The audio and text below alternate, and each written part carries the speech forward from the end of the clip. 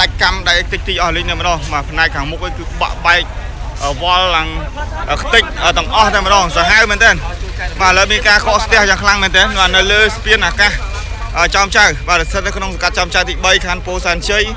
រាជធានីភ្នំពេញបាទរយន្តគឺដាច់កលេកង់បាទផ្នែកខាងស្ដាំបាទម្ខាងឥឡូវនេះយើងឃើញថាកកស្ទះខ្លាំងមែនទែនទិសដៅពីខាងអឺពោចតុងមកពុកម៉ែបងប្អូនយើងនេះបាទនេះគឺជាអឺ បាទទីតាំងកន្លែងកាត់ហេតុបាទជាក់ស្ដែងដែលក្រុមការងារកំពុងតែប្រឌិតរូបភាពផ្ទាល់តែម្ដងដែលរយន្តព្រុសពាក់ស្លាកលេខភ្នំពេញបាទ 2B T បាទ16និង63បាទម៉ូតូគឺដាច់កង់ដាច់ XT អស់នៅខាងនោះបាទសាហាវមែនតើមនុស្សនេះគឺររបួសធ្ងន់ត្រូវបានបញ្ជូនទៅសង្គ្រោះបន្ទាន់នៅមន្ទីរពេទ្យភ្លាមភ្លាមរយន្តមានការបែកកង់បែកពងសុវត្ថិភាពហើយសឹងតែដាច់កន្លែកង់ហើយបាទនោះបែកកញ្ចក់បែកខ្ទេចទីអស់លេងតែម្ដងបាទពិតជាសាហាវមែនតើហើយ នេះគឺនៅស្ពានអាកាសចំចៅហ្មងណាបាទបុកនៅលើស្ពានហើយធ្លាក់មនុស្សចុះទៅខាងក្រៅបាទមនុស្សររបួសធ្ងន់បញ្ជូនទៅសង្គ្រោះបន្ទាន់បាទឥឡូវនេះមានការកកស្ទះដោយរយន្តធនធំមិនអាចធ្វើដំណើរពីខាងពោចតុងឡើងមកបានទេយើងឃើញឥឡូវរយន្តមួយគ្រឿងដែលឡើងមកនេះគឺស្ទះគាំងជាប់នៅលើនឹងតែម្ដងបាទម៉ូតូគឺឡងខ្ទេចអស់លេងមកបងប្អូនយើងអស់នេះបាទផ្នែកខាងមុខឡងអមត់វល់ប៉ុន្តែអ្វីដែលមើលទៅគួរសាហាវបំផុតគឺមនុស្សធ្លាក់ចុះទៅខាងក្រោម អានេះបំណាច់កម្មកង់អីនេះគឺដាច់ខ្ទេចទីអស់លេងបាទបែកព្រេម៉ាស៊ីនបែកអីខ្ទេចទីហើយយើងឃើញថាទិសដៅយកតនឹងថាយ៉ាងម៉េចនេះណាបាទទិសដៅនេះគឺឡើងមកគឺពីនោះមកហើយម៉ូតូនេះគឺខូចខាតផ្នែកខាងមុខបាទមិនដឹងថាពេលហ្នឹងអឺម៉ូតូជិះយ៉ាងម៉េចបាទប្រច្រាស់ឬមួយក៏អត់ទេបាទឡងវល់ខ្ទេចអស់លេងនៅម្ដងណាបាទសាហាវមែនទែនអឺសេរី Dream Song ឆ្នាំ2019 បាទសេរីឆ្នាំ2019ដូចប្រិមិត្តឃើញចាស់ស្ដាយអញ្ចឹងបាទស្លាកលេខហ្នឹងគឺពោធិ៍សាត់ 1J 08 និង60 8បាទហើយបុកឲ្យមនុស្សធ្លាក់ចុះខាងក្រោមបាទមនុស្សមុនហ្នឹងគឺធ្លាក់ចុះខាងក្រោមហើយត្រូវបានបងប្អូនប្រជាពលរដ្ឋយើងនាំគ្នាហៅឡានពេទ្យដើម្បីធ្វើការយកទៅសង្គ្រោះបន្ទាន់ណាបាទយើងឃើញហេតុការណ៍នេះគឺពិតជាគួរខ្លាចមែនទែនបាទបុកឲ្យធ្លាក់មនុស្សចុះក្រោមហ្មងណា បាទបញ្ជាក់ថាមនុស្សរបួសធ្ងន់នោះបាទមិនតន់ថាតើអាចសង្គ្រោះបានឬមួយក៏យ៉ាងណាទេបាទសម្រាប់ជុំវិញពាក់ព័ន្ធនឹងករណីខាងលើដោយសារតែស្ថានភាពគឺក្អួតឈាមចេញតាមមាត់តែម្ដងនេះបាទឡើងវល់តិចអស់លីងហ្មងបែកបាក់បូមបែកតិចតិចអស់លីង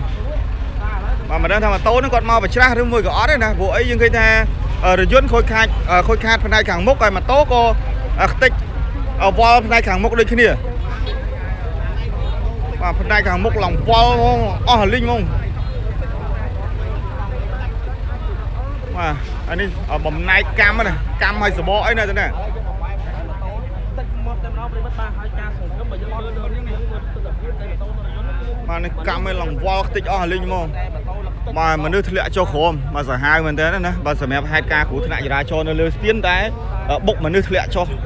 ទៅខាងក្រោមតែម្ដង បាទនេះគឺស្ថិតនៅក្នុងសង្កាត់ចំចៅទី3ខណ្ឌពោធិ៍សែនជ័យរាជធានីភ្នំពេញបាទប្រិមិត្តជួយចែករំលែកទាំងអស់គ្នាបាទសម្រាប់ពាក់ព័ន្ធនឹងការនេះខាងលើអញ្ចឹងក៏ជាសារផ្ដាំផ្ញើមួយដែរថាជួយ share ចែករំលែករយន្តធនធំបើសិនជាឃើញបាទសូមធ្វើដំណើរពីខាងផ្លូវសហព័ន្ធអាស៊ីបាទពីខាងពោចតុងបាទឆ្ពោះមករកឆ្លងស្ពានអាកាសចំចៅបាទសូមមេត្តាវៀងផ្លូវសិនទៅដោយសារមិនអាចធ្វើដំណើរបានទេដោយរថយន្តអឺ ព្រុសបាទមួយគ្រឿងដែលខូចខាតបាទនៅចំកដាស្ពាននឹងតែម្ដងណាបាទរថយន្តនេះគឺកាឡេកង់អីគឺសឹងតែថាបាក់តិចទីអស់ហើយបាទមានសល់ទេបាទដល់ឥឡូវផ្អើលខ្លាំងមែនទែនដោយសារតែបុកនេះគឺធ្លាក់មនុស្សចុះទៅខាងក្រោមបាទជាក់ស្ដែងណាបាទនេះឡងអស់លីងមក អីសង្ស័យថាអាចម៉ូតូនេះគឺអាចបច្រាស់ផ្លូវបាទអាចបច្រាស់ស្ពានមើលទៅពុកម៉ែបងប្អូនទាំងគ្នាបាទព្រោះអីអឺម៉ូតូខ្ទេចផ្នែកខាងមុខអស់អាលីងបាទផ្នែកខាងមុខនេះគឺខ្ទេចអស់អាលីងតែម្ដងណាសាហាវមែនតើហ្មងពុកម៉ែបងប្អូនទាំងគ្នាបបុកឡើងពេញទំហឹងដល់ថ្នាក់រថយន្តខ្ទេចសឹងថាបាក់កាឡេកង់អស់ហើយណាបាទអញ្ចឹងបានន័យថាលបឿននៃការបុកគ្នានេះគឺខ្លាំងបាទសាហាវបាទដល់ថ្នាក់រថយន្តផ្ទុះពងសុវត្ថិភាពទៀតតែប្រិមិត្តនឹកមើលទេណា បាទម៉ូតូជាមួយនឹងរថយន្តហើយបុកដល់ថ្នាក់រថយន្តផ្ទុះពងបាទមនុស្សហោះធ្លាក់ចុះពីលើស្ពានមកបាទបុកហើយប៉ើងធ្លាក់ពីលើស្ពានទៅតែហ្មងណាដែលសង្ស័យថាអាចម៉ូតូគឺបច្រាស់បាទនេះយើងគាត់ថាជំហានដំបូងយើងសង្ស័យទេថាអាចវាច្រាស់ព្រោះអីយើងមកមើលឃើញជាក់ស្ដែងតែម្ដងគឺផ្នែកខាងមុខនៃម៉ូតូគឺខ្ទេចអស់បាទមិនមែនខ្ទេចផ្នែកខាងក្រោយព្រោះអីទិសដៅនេះគឺមកបានចេះហើយកន្លែងនេះគឺខឿន ខឿនកដាលបានន័យថាគេពុះចែកផ្លូវហើយអីបាទអញ្ចឹងបើសិនជាទិសដៅមកពីខាងនោះគឺមកពីផ្លូវជាតិលេខ3មកពីនោះបាទមកពីនោះមកគឺមកផ្លូវជាតិលេខ3អញ្ចឹងគឺមកបានតែទិសដៅនេះទេបើសិនជាគាត់មកស្របទិសគ្នាបើសិនជារថយន្តបុកម៉ូតូអាហ្នឹងគឺខូចខាតផ្នែកខាងក្រោយបាទជាក់ស្ដែងណាប៉ុន្តែនេះគឺខូចខាតផ្នែកខាងមុខបាក់បូមបាក់អីខ្ទេចខ្ទីអស់លេងតែម្ដងតែប្រជាពលរដ្ឋយើងមិននឹកស្មានណាបាទបុកធ្លាក់មនុស្សចុះខាងក្រោម បាទលក្ខណៈមនុស្សធ្លាក់ប៉ើងធ្លាក់ចុះខាងក្រោមបាត់ហ្មងណាបាទហើយរបួសធ្ងន់ក្អួតឈាមចេញតាមមាត់បាទមនុស្សក្អួតឈាមចេញខ្លាំងតាមមាត់បាទរបួសធ្ងន់ហើយដូចជាមិនសូវសង្ឃឹមទេបាទសង្ឃឹមតិចហ៎ព្រោះអីគ្រាន់តែឃើញតែរថយន្តយើងដឹងហើយរថយន្តដល់ថ្នាក់ផ្ទុះពងសុវត្ថិភាពហើយផ្នែកខាងមុខសឹងតែថាដាច់សឹងចង់ដាច់កង់ពុកម៉ែបងប្អូនយើងទាំងគ្នាបាទម៉ូតូបុកជាមួយនឹងរថយន្តសឹងចង់ដាច់កង់ហើយបាទយើងគិតមើលមើលបាទសាហាវមែនតើណា បាទហើយយើងមើលស្លាកលេខទាំងអស់គ្នាជួយ share និងចែករំលែកឲ្យសាច់ញាតិគាត់បានដឹងបាទម៉ូតូខាងលើពាក់ស្លាកលេខអឺពោធិ៍សាត់បាទ 1J0868 បាទ 1J0868 អ្នករងរបួសគឺជាមនុស្សប្រុសបាទមនុស្សប្រុសហើយក្អួតឈាមចេញតាមមាត់តែម្ដងបាទឡងវល់អស់ហើយលីងហ៎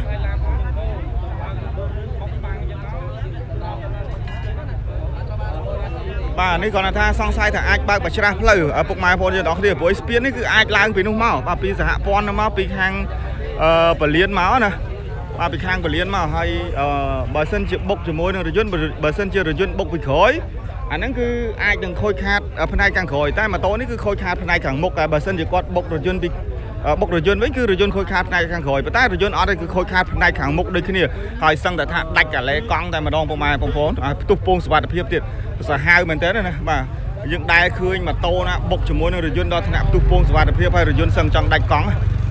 បាទអញ្ចឹងបានន័យថាលបឿននៃការបើកបរនេះមិនដឹងថាយ៉ាងម៉េចបានជបុករហូតដល់ថ្នាក់បែបសាហាវអញ្ចឹងណាហើយមនុស្សហោះធ្លាក់ប៉ើងធ្លាក់ចុះទៅខាងក្រោមហ្មងបាទនោះផ្អើដល់មនុស្សនៅខាងក្រោម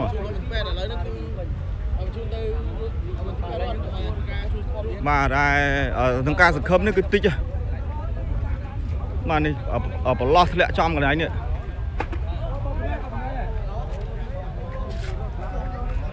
អូអូលើថាស្លាប់បាត់ហើយ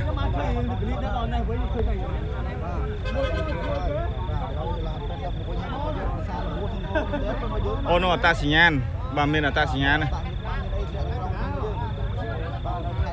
បាទនោះផ្អើមនុស្សមើលទាំងអស់ណាបងប្អូនយើងនេះមើលមើលលើទូរស័ព្ទមកគ្នានឹងដែរមើលមើលបងមើលកន្លែងកន្លែងហ្នឹងមើល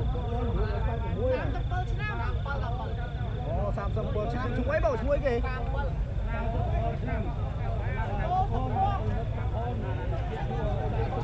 បុកធ្លាក់មនុស្សចុះខាងក្រោមបងប្អូនយើងខ្ញុំមិនថាមនុស្សទៅនោះតែបានទៅនេះខ្ញុំឃើញថា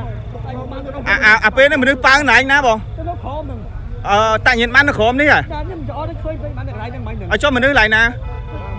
មនុស្សនៅនៅនៅក្នុងកន្លែងមនុស្សនៅខាងនោះបាទទៅបោះនៅនេះវិញណែអឺហើយតាញៀនបាននៅខាងនេះបាទនៅក្លៀននេះកន្លែងកណ្ដុំក៏តខ្ញុំចោលទៅឃើញវិញនេះបាយឃើញផ្ទាល់ហ៎បងពេលបាយឃើញផ្ទាល់ហ៎បងលន់សូក្តាំងហ៎ហើយហើយលន់លន់សូក្តាំងហ្នឹង លន់សូក្តាំងហ្នឹងមនុស្សនៅខាងក្រោមហ៎បាទមនុស្សក្រោមឡើងពេតដល់ងាឡើងសក់ឈាមអូវ័យគាត់ប្រហែលជាប្រហែលណាបងមើលទៅ30ជាងណាបងប្រហែលអ្នកម្នាក់ឯងហ៎ម៉ូតូគាត់មកស្របមួយឡានឬមួយក៏ប្រជះបងអាហ្នឹងមកមកតន់បងនោះអេស៊ីដាឃើញអូបាទមនុស្សសូតែក្តាំងឲ្យបាត់ឃើញម៉ូតូឲ្យឡានអញ្ចឹងតែដឹងតែរបួសធ្ងន់ខ្លាំង ស្លាប់លើផុតបាត់ភ្នែកបាត់ភ្នែកអូស្លាប់ហ៎អឺបាត់ភ្នែកបែរលីអឺអូយលោក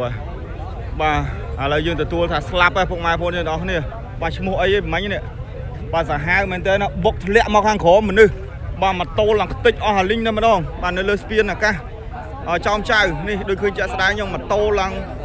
វល់អស់អាលីងផ្នែកខាងមុខហ្នឹងណា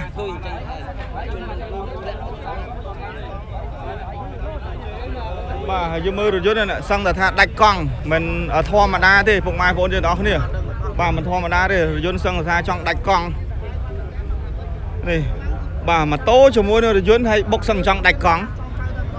បាទនេះឡើងស្ញាញតែម្ដងណាបាទកាឡេឡើងអ่ะបាក់កាឡេ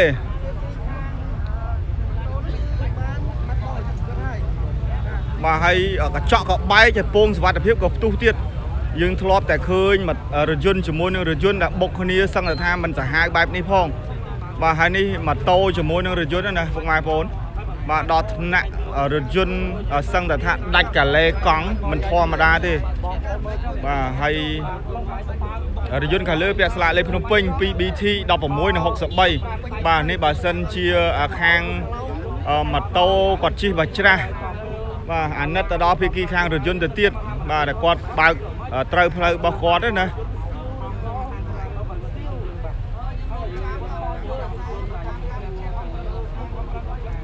គាត់ឡើងផ្អើលមនុស្សនៅខាងក្រោមបាទនាំគ្នាចោមរោមមើលស្ទើរតែមិនជឿណាបាទបុកក៏វាសាហាវហើយលក្ខណៈហ្នឹងមនុស្សធ្លាក់ពីលើស្ពានហ្នឹងក៏សាហាវទៅទៀតបាទស្ទើរសឹងតែមិនចង់ជឿសម្រាប់ជុំវិញពាក់ព័ន្ធនឹងករណីគ្រោះថ្នាក់ចរាចរណ៍មួយនេះបានកើតឡើងនៅលើស្ពានអាកាសចោមចៅ ដែលស្ថិតនៅក្នុងសង្កាត់ចោមចៅទី3ខណ្ឌពោធិ៍សែនជ័យរាជធានីភ្នំពេញបាទដែលអឺលើកទី1ហើយបាទនេះគឺជាលើកទី1តែម្ដងបាទសម្រាប់ថ្ងៃទី29នេះបាទនៅលើស្ពានអាកាសចោមចៅដែលបុកធ្លាក់មនុស្ស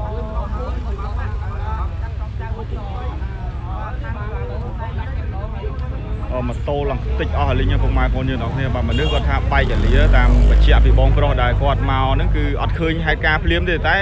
គាត់មកដល់ហ្នឹងគឺលឺគាត់លន់សូក្តាំងបាទលន់សូក្តាំងទៅក៏លេចឃើញទៅមនុស្សនៅខាងក្រោមបាទមនុស្សនៅខាងក្រោមបាទមនុស្សនៅខាងក្រោមហើយអឺលបួសធ្ងន់បាទថាលាក្បាលហ្នឹងគឺបែកបាត់ទៅហើយហើយទទួលបឋមមកថាឥឡូវនេះគឺមនុស្សស្លាប់បាទសម្រាប់អ្នកបើកបើកបរម៉ូតូគឺស្លាប់ បាទនេះឃើញសាហាវសាហាវខ្ញុំថាសាហាវសាហាវមែនតើណាពុកម៉ែបងប្អូនយើងគ្នាបាទពិតជាសាហាវខ្លាំងមែនតើម្ដងមិនធម្មតាទេបាទឡើងស្ញាញអស់ហើយនេះមិនធម្មតាទេមើលខាងទឹកដៃទឹកដៃបាទហើយម៉ូតូឡើងខ្ទេចអស់ហើយហ្នឹងអ្នកណាក៏គេអើតមើលខាងក្រោមដែរបាទស្ទើរតែមិនជឿសម្រាប់ជុំវិញពាក់ព័ន្ធនឹងករណីនេះបាទបុកគ្នាមនុស្សធ្លាក់ចុះទៅខាងក្រោមហើយម៉ូតូឡើងខ្ទេចវល់អស់ហើយលីងតែម្ដង ណានេះកម្មអីមាននៅទេមានអីនៅពុកម៉ែបងប្អូនយើងទាំងអស់គ្នាហើយបាទគ្រាន់តែយើងឃើញតែទំហំនៃការខូចខាតនៃរថយន្តយើងដឹងហើយថានឹងការបុកនេះសាហាវប៉ុណ្ណាបាទអញ្ចឹងបានន័យថាលបឿននៃការបុកនេះគឺលឿនខ្លាំងបាទម៉ូតូហ្នឹងគឺតាមយើងទទួលបឋមថាមកបច្រាស់ផ្លូវបាទមកជិះបច្រាស់ស្ពានបាទបច្រាស់ស្ពានមកលឿនហើយមកបុកជាមួយនឹងរថយន្តព្រុសណាយ៉ាងពេញទំហឹងមកឡើងខ្ទេច ទាំងរថយន្តខ្ទេចទាំងម៉ូតូហើយមនុស្សយើងទទួលឥឡូវនេះគឺស្លាប់ហើយគឺបណ្ដាលឲ្យម្ចាស់ម៉ូតូបាទឡើងវល់ហើយម្ដងអត់មានសល់អីទេនិយាយចំថាកម្មម៉ូតូបូមម៉ូតូកុងទ័រអឺចកៀងអីហ្នឹងគឺបាក់បែកខ្ទេចខ្ទីអស់អាលីងតែម្ដងអត់មានសល់អីទេ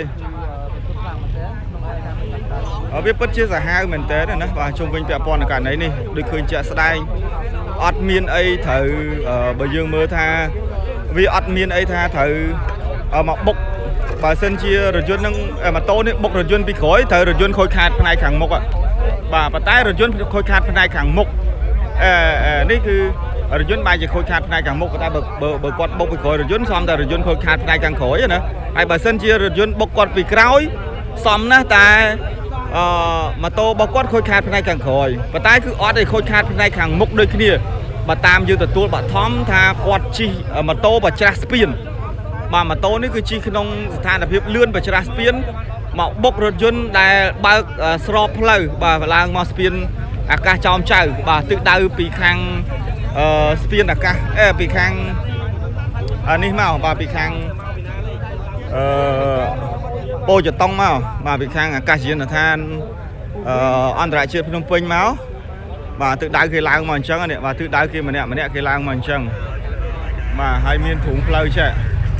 បាទអញ្ចឹងរយម៉ូតូហ្នឹងគឺអត់អាចហោះម្លងមកអញ្ចេះបានទេបាទអញ្ចឹងបានថាគាត់បច្រាស់មកបាទឡើងនេះទស្សនវិជ្ជារួមដូចឃើញអញ្ចឹងជាក់ស្ដែងនេះកកន្លែងនៃទីតាំងកន្លែងកើតហេតុបាទសកាត់ចំចៅទី3ខណ្ឌពោធិ៍សែនជ័យរាជធានីពេញនេះគឺជាករណីទី1ហើយនៅលើស្ពានអាកាសចំចៅដែលបុកគ្នាហើយធ្លាក់មនុស្សហើយនឹងការបុកនេះគឺភិក្ខីមកខាងបច្ច្រាស់ផ្លូវទៅទៀត បាទពុកម៉ែបងប្អូនយើងទាំងអស់គ្នាបាទកុំគិតថាមួយផ្លែតនឹងអត់អីណាបាទមួយផ្លែតនឹងគឺអត់អាចវិលល្ងាចបានទេជីវិតបាទហើយនេះយើងក៏មិនបន្ទោសទៅខាងណាដែរអាណិតទៅគ្នាខាងរថយន្តទៅទៀតណាបាទបើគ្នាបើកស្របផ្លូវហើយយើងជិះ và ច្រាស់ផ្លូវអញ្ចឹងឥឡូវម្ចាស់រថយន្តត្រូវរត់ចោលរថយន្តទៅទៀតបាទមិនហ៊ាននៅទៀតបាទរងចាំការដោះស្រាយនៅពេលក្រោយទៅទៀតខូចខាតរថយន្តតិចទីអស់ឡើង សឹងតែដាច់កលែកង់ទៅហើយ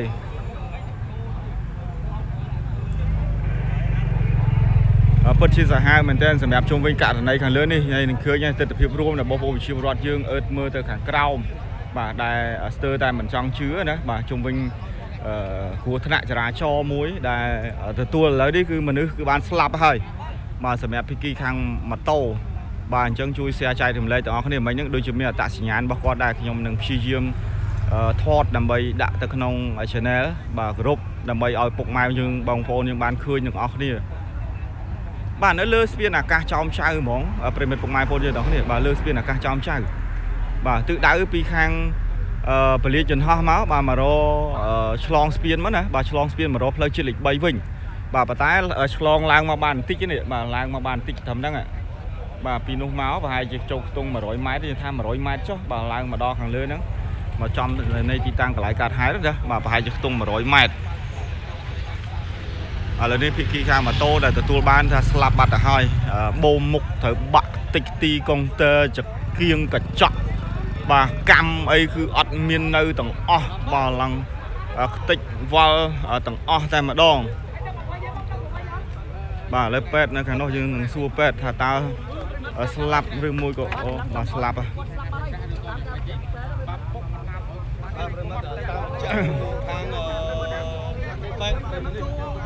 បាទអូពេទ្យមកអត្តសញ្ញាណបន្ថែមបាទនេះឥឡូវខាងពេទ្យថាស្លាប់បាត់ហើយបាទធ្លាក់កន្លែងណាបើនោះបាទនោះឈាមនៅតំណងពេលមិត្តពុកម៉ែបងប្អូនយើងទាំងនេះឡើងឡើង បែកអាលាក្បាលហើយណាបាទបែកអាលាក្បាលហើយក្អួតឈាមចេញតាមមាត់មកមានអីនៅរស់ទៀតពុកម៉ែបងប្អូនយើងទាំងនេះបាទឥឡូវទៅបានស្លាប់បាត់ទៅហើយ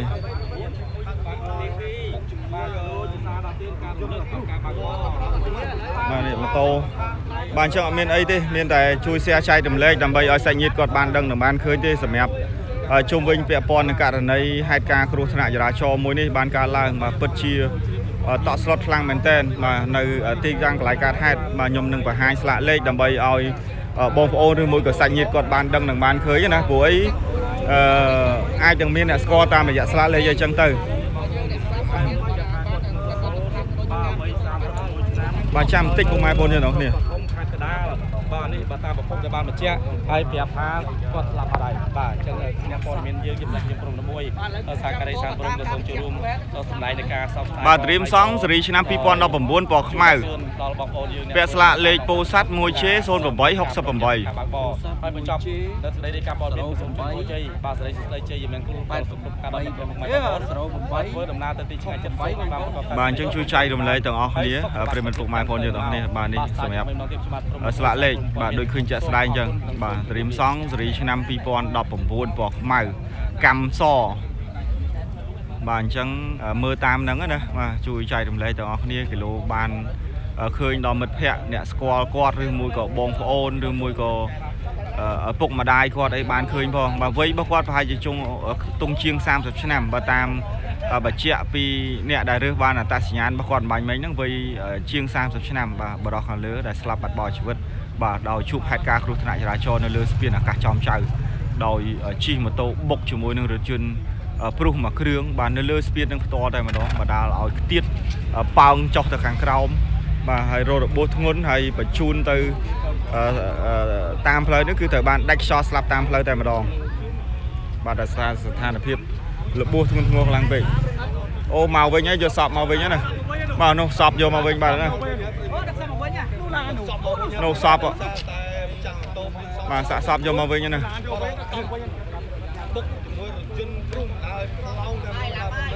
បាទស្លាប់បាត់ទៅហើយបាទសពហើយជាត្រូវវៀងមិនដឹងទៅវិញហើយ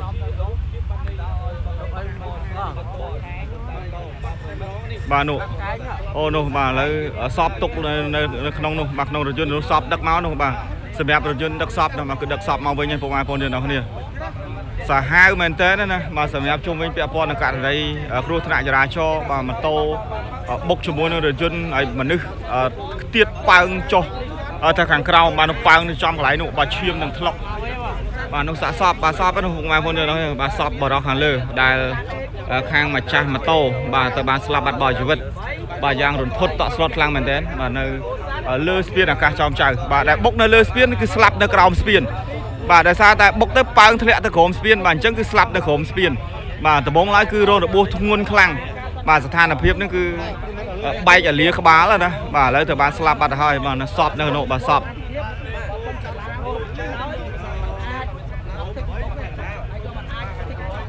បាទនោះសពដឹកមកហើយបាទជួរួមសៀនឹងចែករំលែកទាំងអស់គ្នាផងដែរបាទសម្រាប់ជុំវិញពាក់ព័ន្ធនឹងករណីគ្រោះថ្នាក់ចរាចរណ៍ក៏លើបាទខ្ញុំស្រូមឲ្យឃើញតិច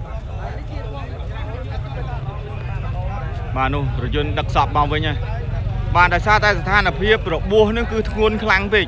បាទបែករលាក្បាលហើយអឺឈាមបាទក្អួតឈាមចេញតាមមាត់តែម្ដង បាទអញ្ចឹងมันអាចសង្គ្រោះបានទេហើយយើងមើលតែទំហំនៃការបុកដឹងហើយពុកម៉ែបងប្អូនយើងទាំងគ្នាបើម៉ូតូឡើងខ្ទេចអស់អាលីងហ្នឹងបាទផ្នែកខាងមុខហើយរថយន្តដល់ថ្នាក់ដាច់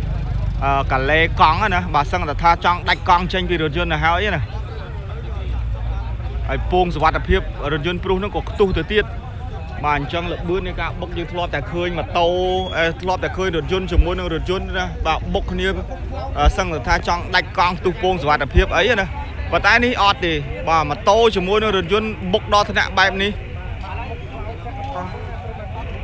បាទនោះសពបាទឥឡូវសពដឹកមកចំណុចទីតាំងកន្លែងកើតហេតុវិញហើយបាទដាក់គាត់ថាដាក់ក្រោមស្ពាន បាទដាក់នៅក្រោមស្ពានបាទបុកហ្នឹងគឺនៅលើស្ពាននោះសពមើលទៅឃើញបាទខ្ញុំមើលនឹងភ្នែកទៅគឺឃើញតែម្ដងណាបាទពាក់អាវស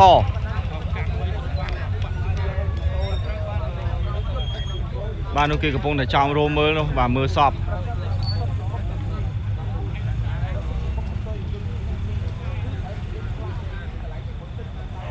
បាទសាកសពហ្នឹងគឺ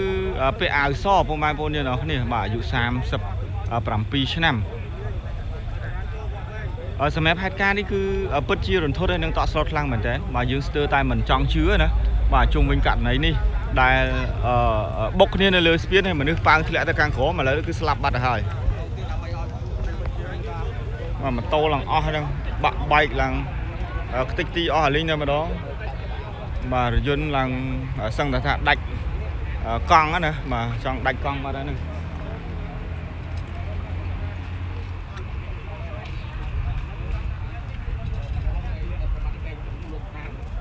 បានចុះមក ដល់ក៏ដូចជារកចាំមន្ត្រីជំនាញដើម្បីឲ្យចូលមកជួយជួយ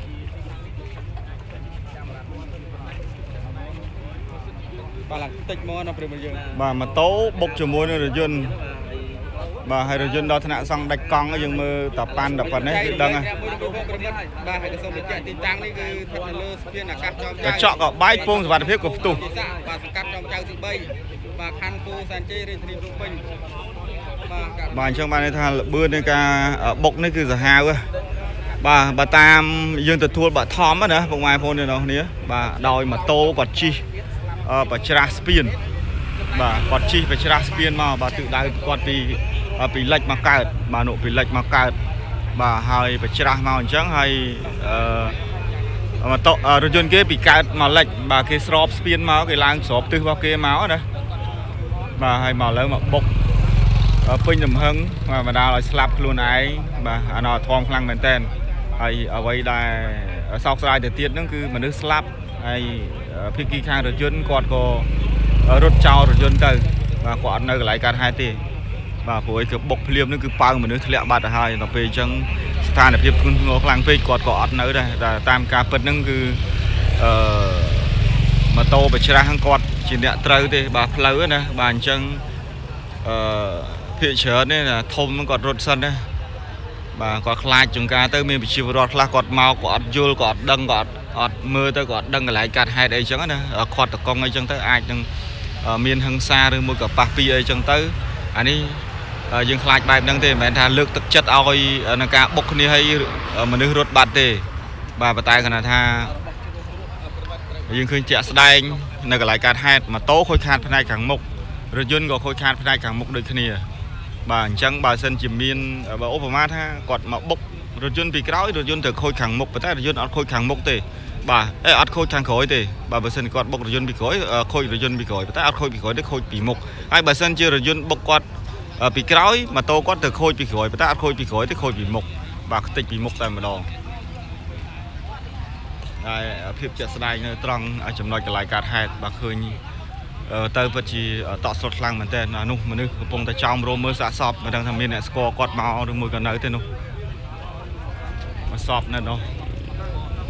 បាទម្នាក់ម្នាក់ស្គីស្ទើតែមិនជឿថាសម្រាប់ហេតុការណ៍នេះវាវាសាហាវដល់ថ្នាក់បែបនេះពេកណាពុកម៉ែបងប្អូនទាំងអស់គ្នាបាទវាសំខាន់ថាអឺ ជិះម៉ូតូបច្រាស់ផ្លូវហើយឥឡូវត្រូវបានស្លាប់ដោយស្លាប់ខ្លួនឯងទៀតបាទនេះសពនេះបាទកំពុងតែរយ៉ែរកកន្លែងទុកដាក់បាទអែបចិញ្ចើមផ្លូវដើម្បីឲ្យស្រួលបន្តិចបាទកុំឲ្យមានការកកស្ទះអញ្ចឹងណាបាទបុកឲ្យប៉ើងធ្លាក់ចុះខាងក្រោមហ្មងបាទនេះស្រោចខាងខាងបាទបាទយើងមើលទៅគឺបុកឡោធ្លាក់ទៅក្រោមនេះតែម្ដងបាទនោះសពបាទនោះសពគឺពាក់អាវសបជាបាទសាកសពរបស់គាត់គឺពាក់អាវសបា ទឥឡូវយ៉ែបើសិនជាសាច់ញាតិបានឃើញហើយតាមរយៈស្លាកលេខម៉ូតូហើយគាត់មានវ័យ37ឆ្នាំបាទវ័យរបស់គាត់37ឆ្នាំ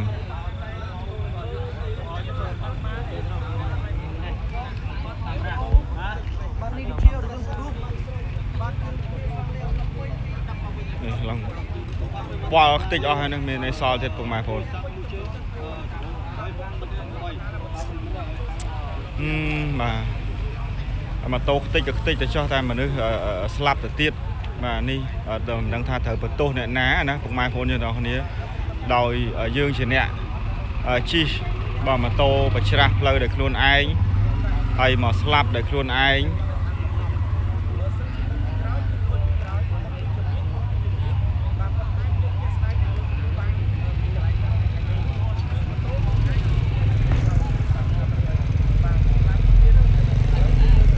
ទាន់មានសាច់ ញាតិទេពុកម៉ែបងប្អូនយើងទាំងអស់គ្នាបាទសង្ឃឹមថាពុកម៉ែបងប្អូនយើងជួយ share និងចែករំលែកទាំងអស់គ្នាដើម្បីសាច់ញាតិគាត់បានដឹងនិងបានឃើញផងសម្រាប់ជុំវិញពាក់ព័ន្ធនឹងករណីគ្រោះថ្នាក់ចរាចរណ៍ខាងលើបាទតាមរយៈស្លាកលេខម៉ូតូនេះមានឈ្មោះនៅបាននៅលើស្ពានអាកាសចំចៅប្រិមិត្តពុកម៉ែបងប្អូនយើងទាំងអស់គ្នាសូមបញ្ជាក់បាទទីតាំងកន្លែងកើតហេតុនៅលើស្ពានអាកាសចោមចៅហ្មងបាទមកស្ពានអាកាសចោមចៅមកសកាត់ ចោមចៅទី3ខណ្ឌពោធិ៍សែនជ័យរាជធានីភ្នំពេញបាទជុំវិញពាក់ព័ន្ធនឹងករណីគ្រោះថ្នាក់ចរាចរណ៍ដ៏រន្ធត់មួយបុកគ្នានៅលើស្ពានប៉ៅមនុស្សធ្លាក់ចុះទៅខាងក្រោមបណ្ដាលឲ្យបែករលាក្បាលបាទក្អួតឈាមចេញមកខាងក្រៅឥឡូវនេះត្រូវបានស្លាប់បាត់បង់ជីវិតទៅហើយបាទពេលដែលបញ្ជូនទៅសង្គ្រោះបន្ទាន់នៅមន្ទីរពេទ្យដោយសារតែស្ថានភាពនៃរបួសរបស់គាត់គឺมันអាចសង្គ្រោះបានបាទធ្ងន់ធ្ងរខ្លាំងពេកក៏ត្រូវបានស្លាប់បាទនៅតាមផ្លូវទៅបាទឥឡូវរថយន្តបានដឹក សពយកមកវិញបាទហើយនោះគឺធ្លាក់ចុះមកខាងក្រោមនេះបាទចំកន្លែងនេះបាទកន្លែងក្មេងឈរកាន់បាវហ្នឹងបាទគឺកន្លែងហ្នឹងតែម្ដងដែលឈាម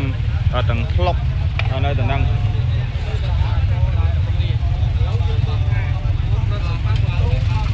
សាហាវមែនតើណាបាទស្ទើរតែមិនជឿ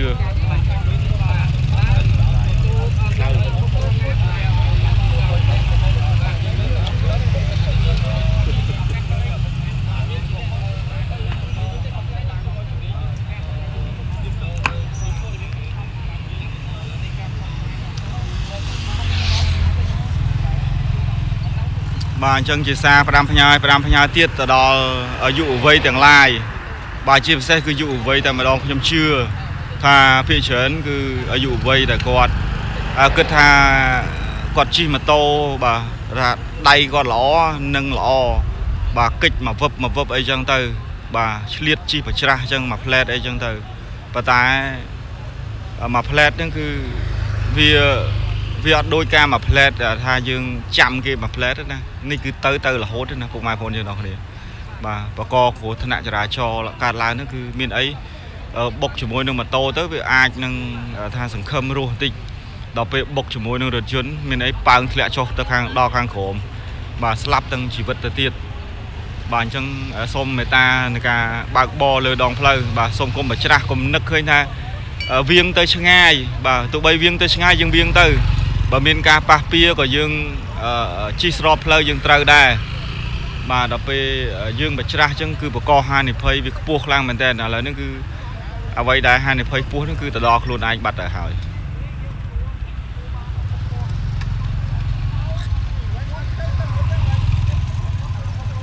បាទបើមានមួកហ្នឹងក៏ប្រហែលជាពិបាកទប់ដែរពុកម៉ែបងប្អូនយើងទាំងគ្នា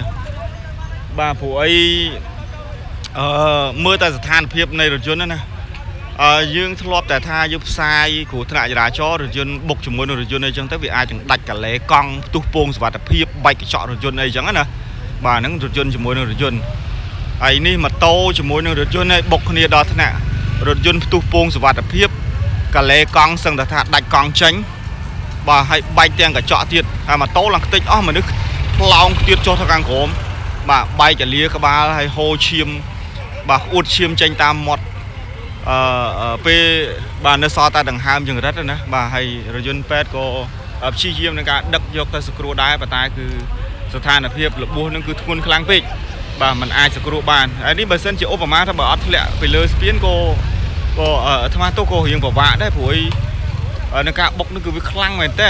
បាទខ្លាំងខ្លាំងមែនតើហ្មង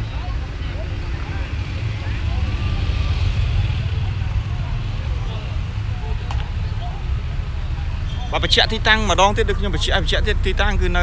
សង្កាត់ចោមចៅទី3ខណ្ឌពោធិ៍សែនជ័យរាជធានីភ្នំពេញនៅលើស្ពានអាកាសចោមចៅបាទអញ្ចឹងអត់តន់មានសាច់ញាតិឬមួយក៏មិត្តភ័ក្តិបងប្អូននៅឡើយទេដែលមានការភ្ញាក់ផ្អើលនិងមានការកកស្ទះផងដែរត្រង់ចំណុចនៅទីតាំងកន្លែងកើតហេតុខាងលើបាទយ៉ាងណាមិញបាទឥឡូវសមត្ថកិច្ចកំពុងតែមើលបន្ថែមបាទជុំវិញករណីខាងលើបាទតើ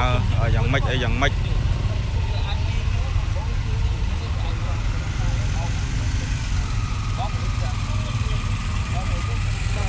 ស្លាឡៃអទូរស័ព្ទ 1J 0863 68បាទជាស្រីទូរស័ព្ទ 1J 0868 បាទគឺបកឡើងឲ្យព្រុសនៅម៉ូតូពុកយ៉ាងសុខបាទឥឡូវសមាជិកកំពុងមើល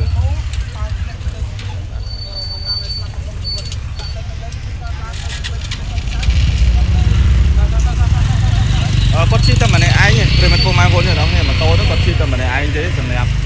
ហេតុការណ៍ខាងលើណាបើគាត់ជិះតែម្នាក់ឯងទេបាទខ្ញុំសួរអ្នកដែលគាត់ដឹងហេតុការណ៍បាទគាត់ថាជិះតែម្នាក់ឯងទេ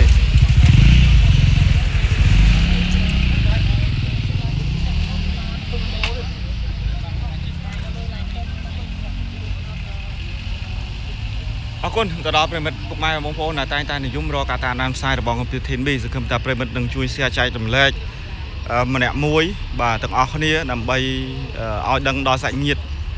មិត្តភ័ក្តិឬមួយក៏បងប្អូនរបស់គាត់ផងដោយសារតែឥឡូវនេះគឺអត់ទាន់មានសាច់ញាតិមិត្តភ័ក្តិបងប្អូនចុះមកដល់ត្រង់ចំណុចកន្លែងកាត់ហេតុទេបាទដោយសារតែ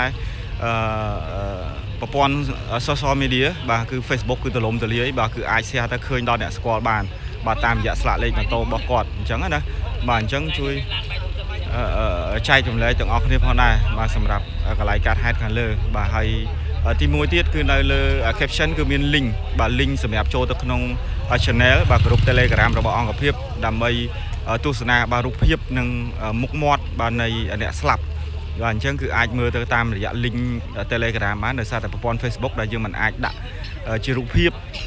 ឈាមរូបភាពមនុស្សស្លាប់បានទេប៉ុន្តែនៅក្នុងក្រុម Telegram គឺអាចទទួលមើលបានអាចដាក់ចូលបានចាអញ្ចឹងគឺ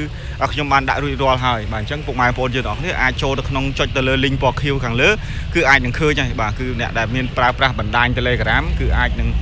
ឃើញបាទសម្រាប់រូបភាពបាទអ្នកដែលស្លាប់បាត់បង់ជីវិតបាទនៅទីតាំងនៃកន្លែងកាត់ហែកខាងលើអរគុណប្រិមិត្តយើងបាទខ្ញុំសូមបិទបញ្ចប់នៃការផ្សាយ